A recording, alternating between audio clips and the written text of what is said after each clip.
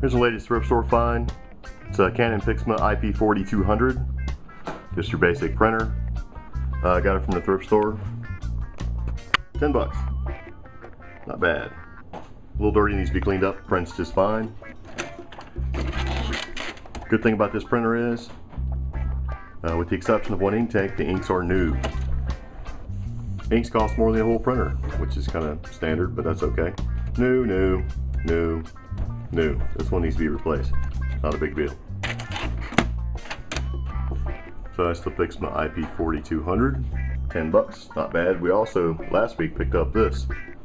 This is the Canon Pixma MP500. It takes the same ink. So now we have two printers that actually take the same ink.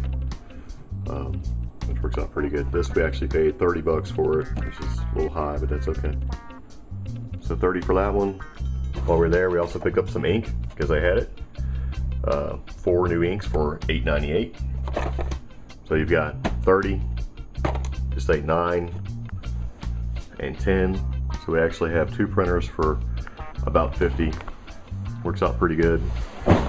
Whoops, I just knocked over a box. That's probably not good. We won't say anything about that though. But yeah, for this is my uh, cheesy little kitchen office. I've got an office upstairs. Um, but this one's more convenient. It's in the kitchen. It's a little bar off the kitchen.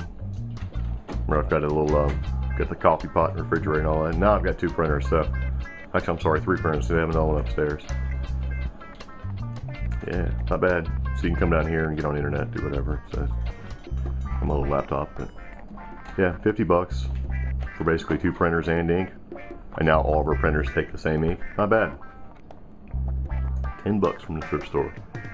So there you go. So when you go to a thrift store and you find these little printers laying around for five or six or seven bucks or even 10 or 20 bucks, uh, if you can, plug them in, check the ink. If the ink is new and it's something you use already, you can definitely save some money. Plus, look for ink because you find it all the time. I haven't really started looking for it until last week and I'm starting to realize that people turn their inks in, printers in with brand new ink cartridges. So if you find a printer that's the same as the model you already have, check it for ink. It's got new ink and the printer's only 10 bucks, it's worth buying.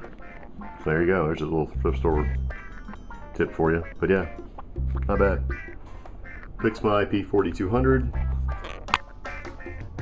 10 beans. It has new ink.